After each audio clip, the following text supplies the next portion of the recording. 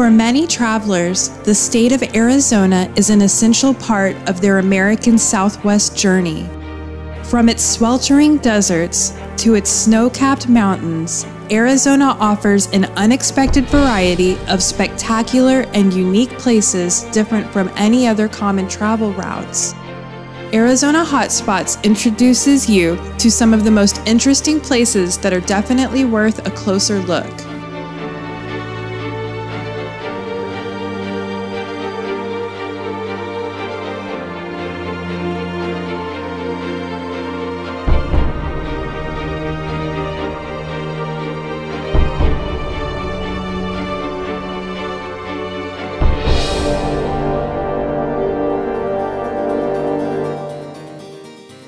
People know the Verde Valley by name, yet they have most likely passed it on their journeys around Arizona.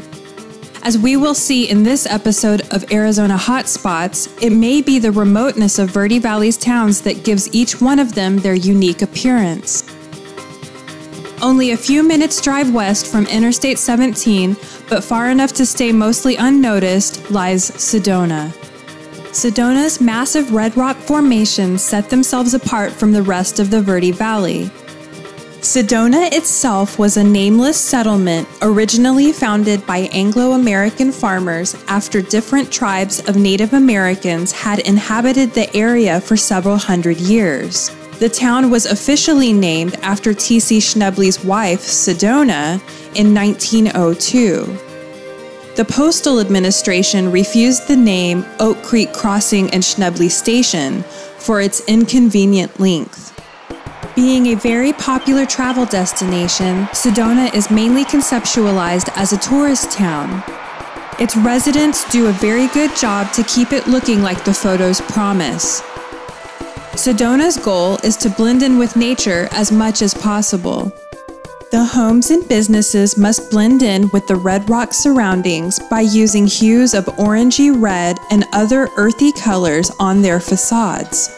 As a dedicated destination for tourists interested in crystals, psychics, and other New Age phenomena, Sedona is a true paradise for artists and art lovers alike.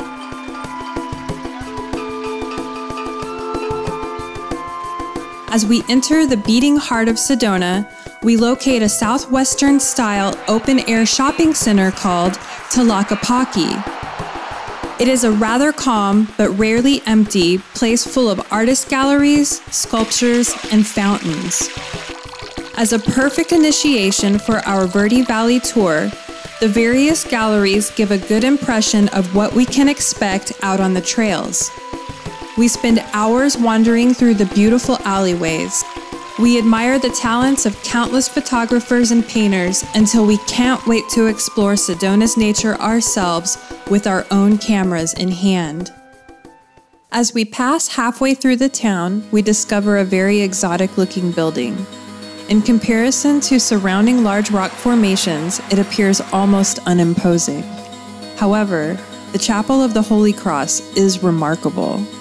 Former local resident, rancher, and sculptor Marguerite Brunswig Staude, who was inspired by the architecture of the Empire State Building, couldn't finish the construction of her building in Budapest, Hungary due to World War II.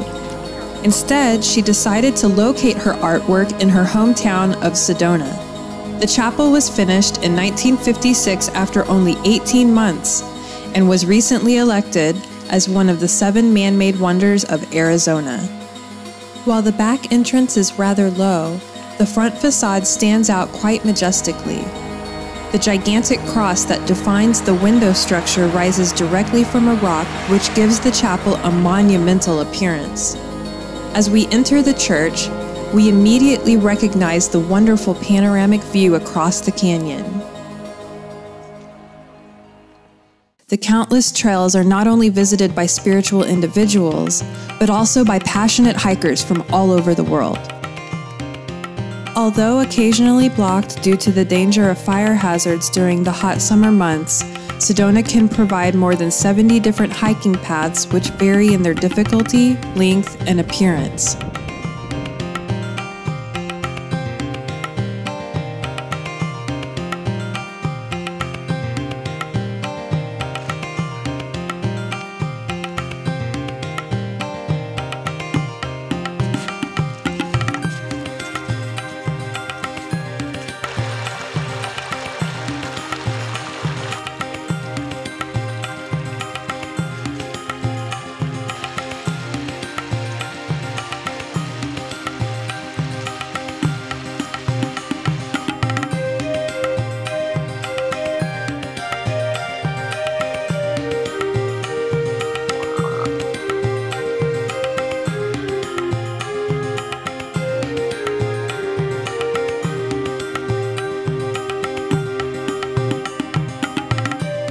While some routes lead through flat plains or meandering canyons, others can be quite steep and require a higher level of fitness to climb. But the reward of astonishing panoramic views from the highest points are totally worth it.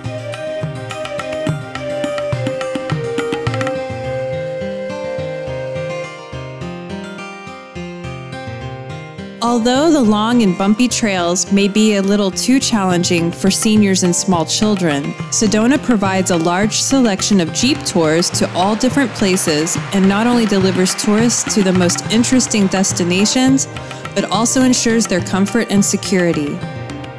For those who are interested in hiking, we have the following tips for you. Always carry enough water with you. Don't leave the trails. A map or a travel guide might become your most useful companion. Always use sun protection. If you're inexperienced with hiking, never go alone. Keep an eye on the time. The sunset happens very fast, and although you might be used to long summer days in northern places, in Arizona, the sun sets much earlier. An early sunset doesn't necessarily mean you should lock yourself in your hotel room. In fact, Sedona provides another very interesting feature for night owls stargazing. In big cities, people rarely get to see the stars in their true beauty. Sedona meets all requirements for a dark city. Set up your camera, switch to long time exposure, and just wait for the magic to happen.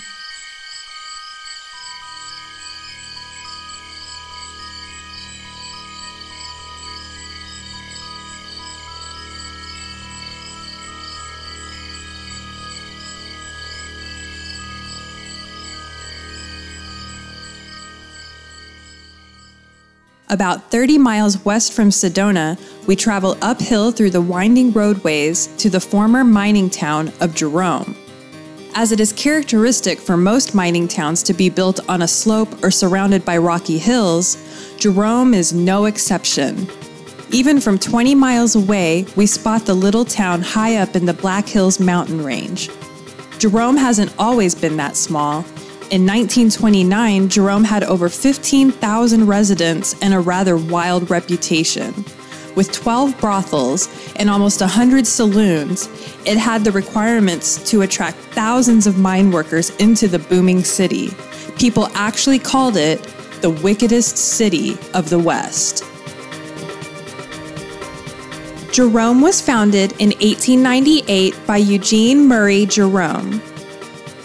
Despite several severe mining fires and explosion induced earthquakes, the flourishing of Jerome seemed unstoppable. The small town had grown rapidly and reached its peak in 1929. When the value of copper decreased in 1935, Phelps Dodge took over the two mines, but the Great Depression had already taken its toll on the mining industry. When the last mine closed in 1953, Jerome's population had already sunk to under 50 people, and it would become one of Arizona's countless abandoned ghost towns. Fortunately, someone had other plans. The 1970s New Age movement had attracted a great number of artists who saw the dying town of Jerome as a perfect place to live. Today's Jerome is not quite the booming heart of industry that it used to be. Instead, its residents tried to conserve its history for the numerous tourists that find their way up to Jerome every day. Surprisingly, there are still a lot of original buildings left. Although some of them no longer resemble their former structure, they live on by means of information plaques that you can find all around the town.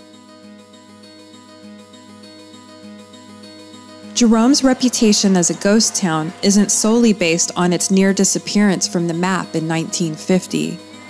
Numerous reports from different parts of the town say that it is actually haunted. The Jerome Grand Hotel hasn't always served as a vacation spot.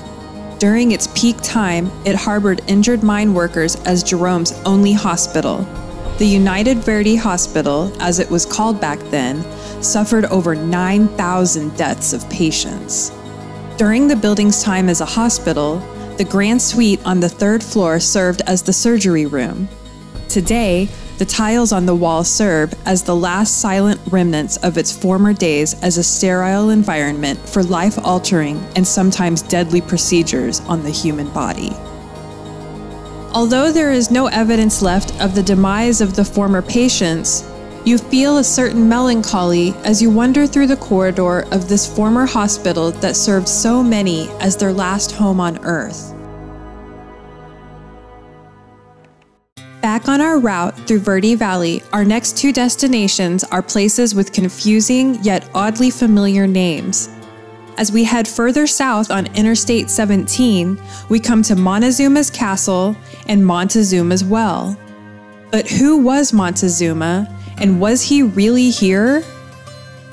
Originally Mautekazoma, mispronounced as Moctezuma, and finally completely misspelled as Montezuma, was the name of two different Aztec emperors, Montezuma I and Montezuma II, fighting against the Spanish during the 15th century. Nevertheless, the naming of these tourist attractions is a common misunderstanding that first occurred in the 1860s when the first European Americans discovered the very old Native American ruin built inside the walls of a small canyon and mistook it for an Aztec fortress. The Aztec emperors, on the other hand, never even expanded their realm this far north. In addition, the ruins were probably abandoned at least 40 years before Montezuma I was even born. Although the misconception got cleared up, the names were kept. Today, over 400,000 tourists come here annually only to find out that Montezuma's castle is actually a five story cliff dwelling built out of limestone and clay by the Sinagua Indians around the 11th century. This once habitable construction was supposedly built so high off the ground to avoid the monsoon flash floods. It was perfectly protected from wildlife and other intruders since it was only accessible by portable ladders. The Sinagua Indians were last seen in 1425 when their disappearance might have been caused by droughts or the depletion of resources, but most likely due to clashes with the competing tribes of the Yavapai, Mogollon, Anasazi, or Hohokam Indians. In 1906, President Roosevelt declared Montezuma's Castle a national monument. Despite the fact that the ruin got severely raided after its discovery, most of its structure is still well intact. In fact, it still counts as one of North America's most preserved monuments. Visitors can see the front from the outside. The ladders were removed for use by tourists in 1951 due to potential security issues. Interested tourists who want to see the internal structure of the dwelling have the possibility to see an open miniature diorama of Montezuma's castle while visiting the site. Only 11 miles away, we find yet another monument named Montezuma's Well. The well, which also belongs to the Montezuma's Castle National Monument, is a limestone sinkhole. The underground spring brings approximately 1.5 million gallons of water up to the surface every day. And although the spring water seems fresh and unpolluted, it contains high amounts of carbon dioxide and almost no oxygen, which makes the pond completely uninhabitable for fish. Nevertheless, the spring is home to at least five endemic freshwater species of animals, insects, and plants, which makes Montezuma's well a very lucrative source of nutrition for migratory birds. The well wasn't known to the general public until its mentioning in Richard J. Hinton's Handbook to Arizona, published in 1878. The first scuba expedition took place in 1948. The well's form corresponds to the typical cenote, a collapsed limestone bedrock cavern that reveals an underground spring. cenotes are widespread in the Mexican Yucatan Peninsula, but a rather rare discovery in the dry desert of Arizona. But the mystery about Montezuma's well is even far more complex than it seems because its water quality shows no commonalities with any other water sources in the Verde Valley area. Its relatively warm temperature, which averages around 76 degrees Fahrenheit, keeps the surrounding environment in a consistent state. The well has to undergo weekly maintenance to keep rapidly growing pond weeds from occluding the outflow to the irrigation canal systems. As a matter of fact, the outflow of the well was regimented by several man made canals since the 7th century and could easily supply a farmland of 60 acres. Almost invisible on first sight, the rim of the well is full of well hidden cliff dwellings. These one room buildings were once inhabited by the Sinagua Indians. The limestone huts are still intact, and we get a glimpse of how the Native Americans once lived as farmers. For the Yavapai Indians, who settled the Verde Valley after the disappearance of the Sinagua, the well has a spiritual meaning. They believe that the well is the portal through which their souls emerged into this world. Visitors can walk halfway around the pond and see the huts from a close range. Due to their age and consistency, the huts should not be entered. If you look closely at the hut's walls, we discover some rather modern looking inscriptions. These inscriptions are in fact graffiti drawn by the first tourists in the late 19th century.